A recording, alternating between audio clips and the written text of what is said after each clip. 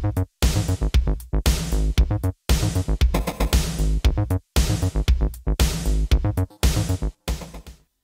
everyone, it's Average Joe PC and today we're going to get your PC booting directly into Steam. And I mean directly into Steam.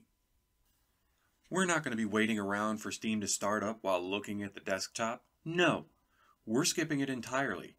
And we're going to do this by adding something to The registry. But don't fret, it's not too crazy, and I'll be with you the whole time. And don't worry, by the end of this video, you will still be able to go back to Windows Desktop if you need to, much like a Steam Deck. I should also say that taking backups of your system is always a good idea.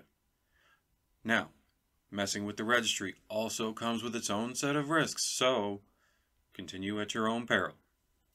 So we're going to start with our way of getting back to Windows, because the last thing we need is to get this done and not have an easy way to get back to the desktop ready to go.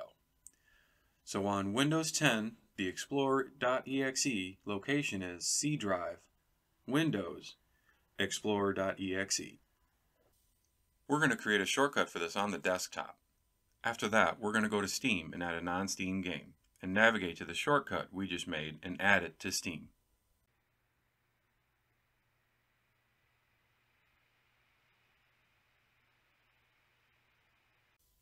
Now once it's in there, we're going to navigate to it and select it.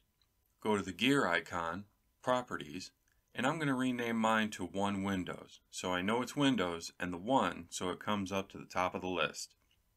Make sure that the root is correct, and if it is, we're done with this step. Now we're going to select Steam Settings from the top menu. Go to the Interface tab, and check boxes for Start Steam when my computer starts, and Start Steam in Big Picture mode. Click OK and exit Steam. Now comes the fun part. Hit the Windows key plus R at the same time to bring up the Run dialog box and type regedit and click OK. You are now in. The registry. Now navigate to H key current user, expand that, and then find software, expand that, find Microsoft, expand again, Windows NT, current version, then Win Logon. Right click in the folder pane on the right and select New String Value. Name it Shell and select Modify. Now type in the path to Steam. Best practice is to navigate to the steam.exe and copy as path, or if you have a shortcut on your desktop, you can get the target path from its properties. There you have it. All we have to do is make sure that we're set up to auto log in and we're off to the races.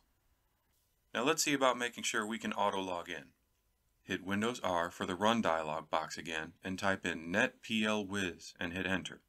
And in the window that comes up, uncheck the box in front of Users must enter username and password to use this computer, and then click OK.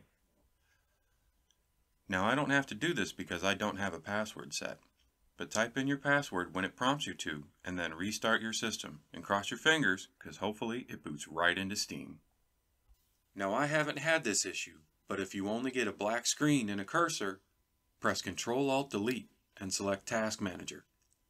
Then go to File, New Task, and type Explorer.exe. And that will bring you back to your desktop. And at that point, you can go back and delete the regedit for the shell and leave it deleted, or try it again. It's up to you how determined you want to be, but I'm confident you'll get it right the first time.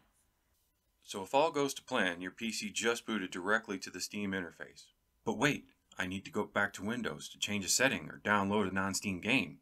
Don't worry, we've got you covered. Remember that Windows game we created? Well, we're going to use that to get back to Windows.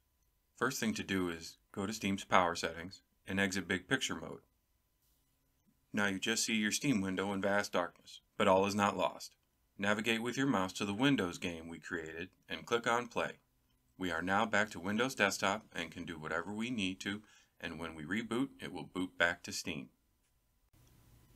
If this video was helpful, give it a like and hit subscribe and turn on notifications so you never miss a new video. If there's a video you'd like to see, leave a request in the comments and I'll do my best to get to it. And if you want to support the channel, check out the merch link in the description box.